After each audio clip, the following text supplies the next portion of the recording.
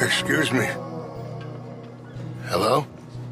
Didn't I meet you a long time ago? I don't know. With uh, Arthur? Arthur Morgan? Oh, yes.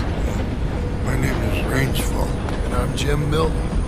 John Marston. Oh. Is Arthur... Uh... He passed away. A long time ago. Oh, I'm sorry.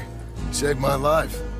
He gave his. That doesn't surprise me one bit. and you? I know you had tough times. Uh, well...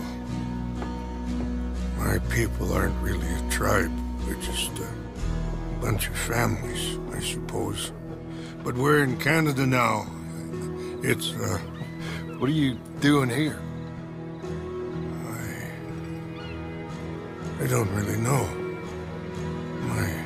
Son, I suppose. Oh, he fell. I, I know. I'm sorry. I've got a son. I'm very sorry. Oh, it was a long time ago now. Well, it's good to see you, Mr. Marston. and you.